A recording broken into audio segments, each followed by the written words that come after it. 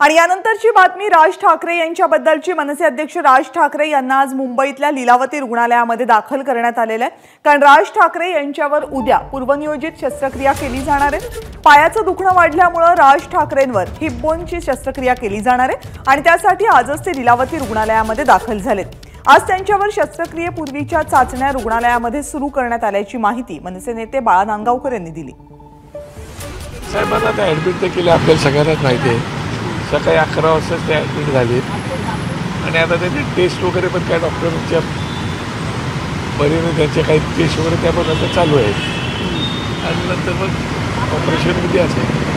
साधारण किती दिवस साहेब लीलावती हॉस्पिटलमध्ये असतील आणि असं त्याची? कल्पना ऑपरेशन झाल्यानंतर कळेल आणि तुम्हाला ती माहिती चांगले डॉक्टर सगळे चांगले देऊ शकतात. ओके. उद्या ही शस्त्रक्रिया होते. उद्या शस्त्रक्रिया असं डॉक्टरला म्हणाले आता पाहू त्यांचे सगळे रिपोर्ट रिपोर्ट आले तर डॉक्टर काय ते ठरवतील. पाय दुखावल्यामुळे हा सगळा प्रश्न उद्भवलेला आता पाहायचं त्याचं दुखणं बरेच दिवस चाललं होतं ते पण त्यांनी ते निर्णय घेतला की ते आता एकदाच त्याचं ऑपरेशन करून घेतलेलं बरं म्हणून ते तो ऑपरेशन आता करते एबीपी माझा उघडा डोळे बघा नीट.